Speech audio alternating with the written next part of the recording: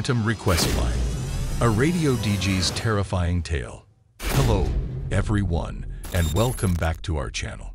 Let's start the horror story. It's 11.5, and you're listening to WSAH 101.1 FM. Whittenberg's classic rock for the discerning listener.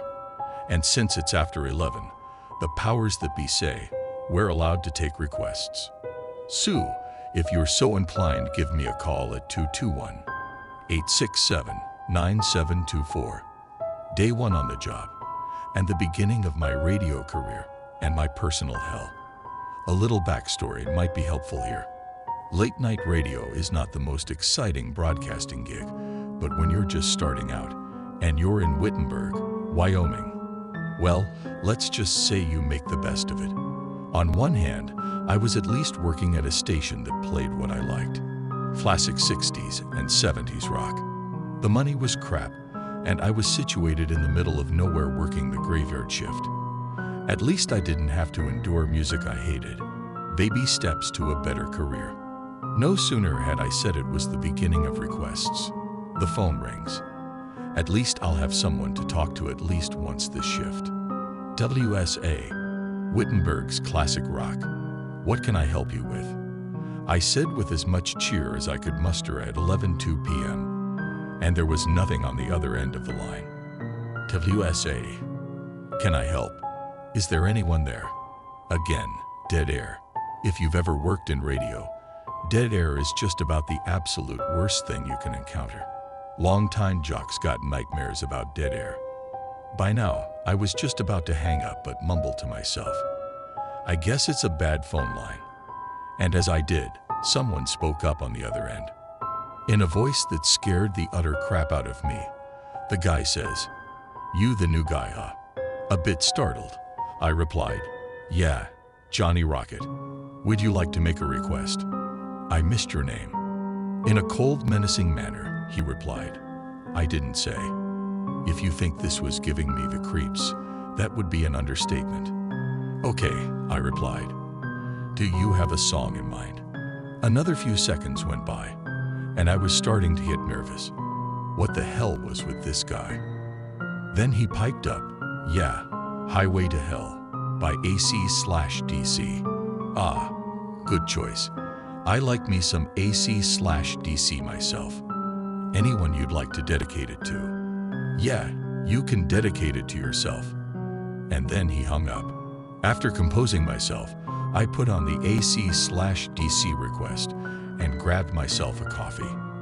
At this point, it would have been a lot more calming if I had a shot or two of scotch or something similar to help me get through the night.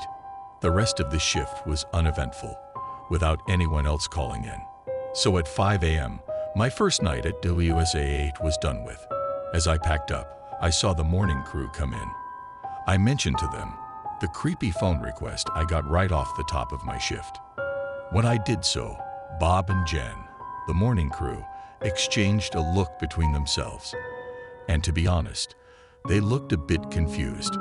Bob asked me, What number did you give out for the phone request? I replied cautiously, 221 867 9724. That's the request line for after 11 p.m., right? Jan looked at me with a smile and said, Johnny, we don't have a request line, and that number doesn't exist. Management must have been pulling your leg with the request line after the 11 p.m. deal. At this point, I was getting really confused. Are you serious? Because I can tell you in less than a minute after I said to call in for requests, I got a call. And with that, they both shrugged their shoulders and went into the booth for their shift. I'd like to say things got better from then on, but I'd be lying if I said that. The next night, I settled in, said the How Do You Do's on air, and in less than a minute the phone rings. When it did, I dropped my coffee onto the floor. What's going on? I didn't mention anything about the request line, but for the second night in a row, I got a phone call on a supposedly non existent phone line. I let it ring, afraid to answer, but it kept ringing for what seemed like forever before I cautiously answered. WSAH, how can I help you? At the other end of the line, it was silent again. Then he answered, Same guy as my first night. Johnny boy, you're starting to piss me off taking so long to answer the phone. Don't let it happen again. Who are you? And how did you get this number? I answered. After a couple of seconds of silence, he answered, It doesn't matter who I am. And you gave me the number on the air, remember? So in the future, if you know what's good for you, answer the damn phone when I call. As he spoke, I started to get the feeling I was the object of a very sick and scary stalker. I replied, But this number doesn't exist. This phone line doesn't exist. And in a smug manner, he replied, And yet, here we are, Johnny. Be a good boy and play Highway to Hell for me. And then he hung up. The rest of the night went by without incident. No more phone calls, but I was creeped out as I'd never been in my life. I'm trying to figure out if this is an initiation thing on the new guy, or if this is seriously real. I decide to go to the station manager, Rick Ray, when my shift is over to get some kind of clarification on things. If it's not an initiation thing, I don't know what I'm going to do. The shift ends, mercifully, and the morning crew shows up to take over. They see I'm out of sorts. Bob asks, Hey man, you okay? You look like you've just seen a ghost. I slowly turn to look at him, and then reply, No, I haven't seen a ghost, but I heard one again last night. Jan looks at me, then asks, Did you get another phone call?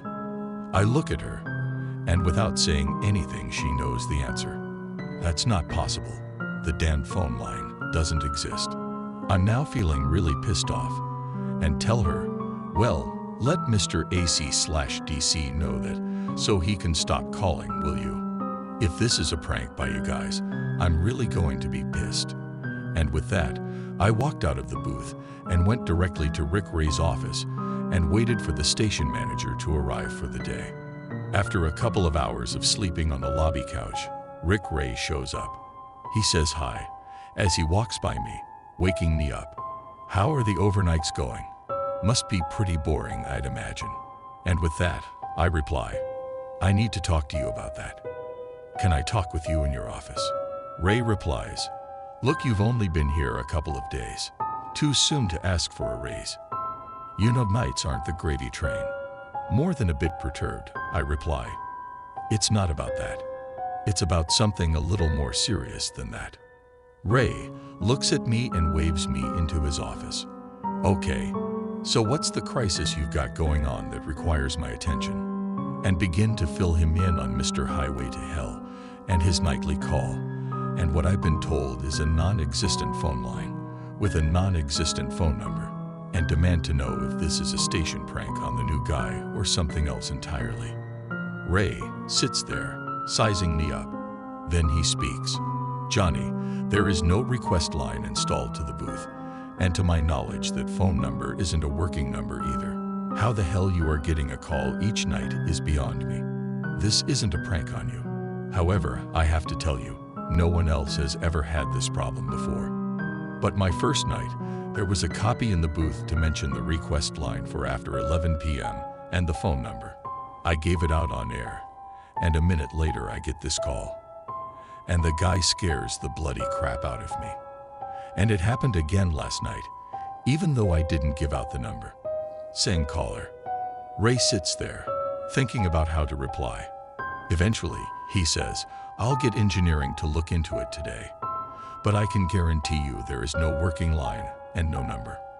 With that, the meeting ends and I leave Ray's office and head home for the day, not feeling any better about things. With two days behind me at my first radio gig, I am contemplating quitting and heading for another station and starting over again. On my drive home, I turn on WSAH on my car radio and listen to the morning show with Bob and January. They're a pretty good morning crew, and I'm enjoying the show when out of the blue, Bob pipes up and says, just got a text in on the text line from an overnight listener who says he'd like to dedicate the next song to our new overnight guy, Johnny Rocket. If you're listening, Johnny, this one's for you. AC slash DC and Highway to Hell. I almost drove off the road. I'm now officially terrified. and made the decision to not to return to Gilliaz's. And I just kept driving out of town and hopefully to some sense of sanity. The further away from Whittenberg, Wyoming, I got the better I felt. My nerves were finally starting to settle down after about 15 hours of driving. How's the old saying go? Happiness is seeing Whittenberg in your rearview mirror. It was right then my cell phone rang. I was expecting it to be someone from the station, wondering where the hell I was since I wasn't there for my shift. I grabbed the phone and then noticed the number on the phone. It was from 221 867 9724. How is that possible? What the hell should I do? After a few seconds, I decide to answer the call. When I do, there's silence for a few seconds, and then the voice that will hound me for the rest of my life. Johnny boy, you didn't think you'd get rid of me that easy, did you? No way. Now be a good boy. And Planey Highway to Hell, IAC slash DC. Thank you for joining us today. Please subscribe to our channel. See you next horror story.